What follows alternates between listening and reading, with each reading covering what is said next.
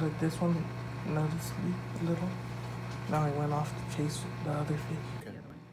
My name is Tom Ball. I teach here at Casa Pacifica, NPS.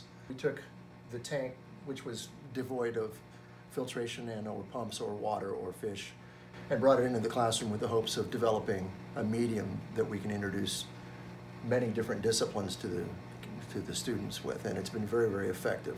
This is Oscar. That one right there, the Oh, okay. Tetra. Uh, this one's Meyer.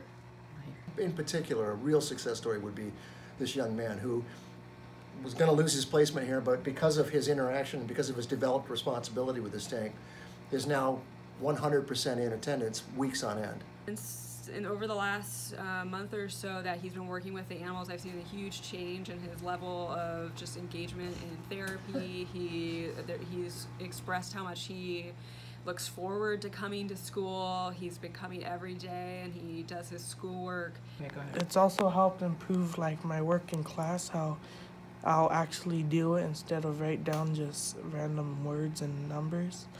And and I actually sit down and read throughout the paragraphs I need to read. And I, I'm starting to do more during PE. I'm starting to run around more and participate. It only stands to reason that we could expand that effect to other students.